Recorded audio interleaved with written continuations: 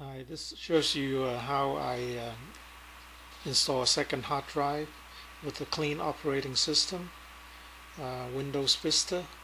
This is a Dell Dimension E521. Um, I just uh, bought a new 500 gig for $40 and basically you just plug in all the cables. Um, the cable that I have was uh, not uh, suitable uh, because it couldn't I couldn't close the cover after I installed it so I had to use this short cable. And I just uh, I just have to you know plug in one of the uh, hard drive uh, controller um, receptacle. And then uh, you have to go into I think F2 to uh, select the boot sequence so you can install your Vista uh, onto the new hard drive. Um,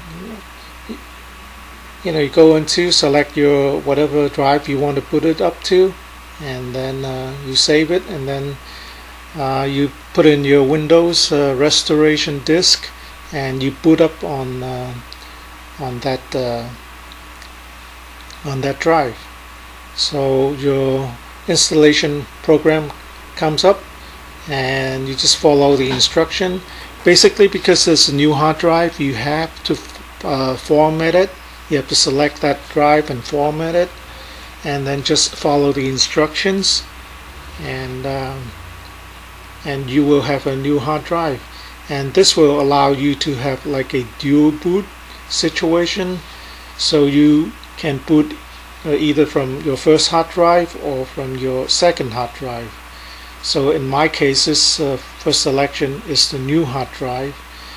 And uh, I also uh, reconfigure it a little bit. Uh, you go into MS config and then you select boot and you uh, select a dual processor and maximum memory.